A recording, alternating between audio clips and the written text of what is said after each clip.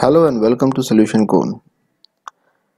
In the last video, we have learned about the form validation and we displayed the error successfully on the top side of the form or anywhere like uh, anywhere in a div or a form we can display that errors. But what if we want to show the errors with the respective fields? So this this will not work there. So let's see how to display the errors with the respective fields. For example the email id field is required. It should not be on the top hand side but it should be with somewhere with this email address or below this or above this somewhere here. And the name field is required should be correlated to the name field and it should be displayed here itself. Age and password similarly. So let's see how to do it in the last video we have already uh, done the form validation properly. So we have displayed the errors using the validation errors method and we have given some um, stylings to the errors which are displayed here. So similarly uh, we will not change anything in the controller because uh, the controller is working perfectly fine. So just in that case we just need to work on the view part where we want to show the errors. So the validations are working fine everything is working fine just we need to uh, change something in uh, displaying the errors so it will work for us. So I'm assuming that I want to display the errors below that field. So for that we have a method a different method basically which is nothing but the form underscore error.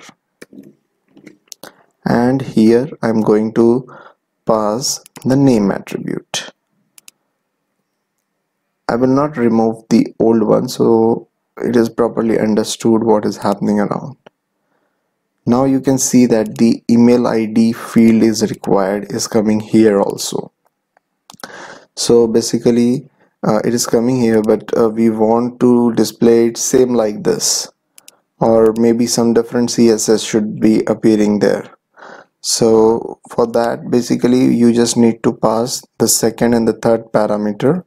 Second parameter is like this a div because i'm using a bootstrap so i'm going to use the bootstrap classes.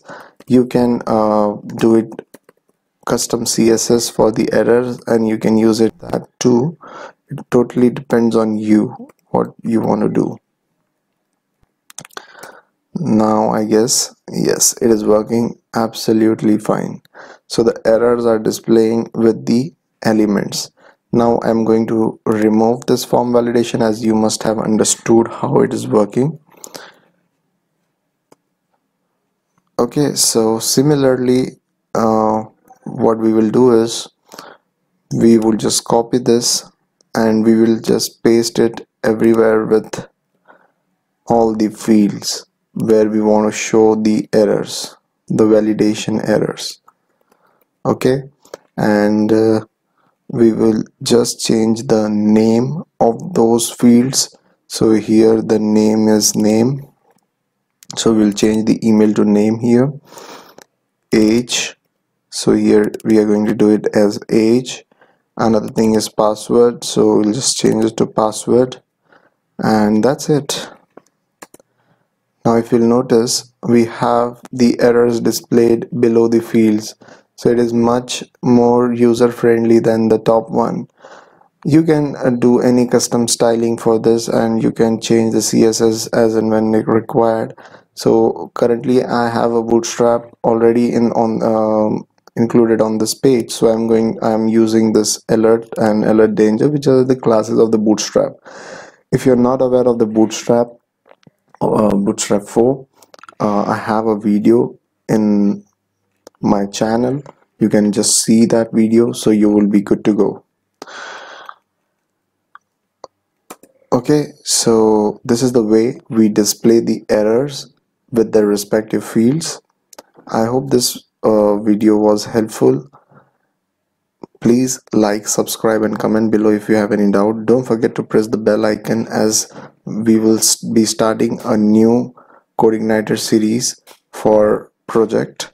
So it will help you developing your skills. Thank you guys for watching. Hope you have a great day ahead. Bye bye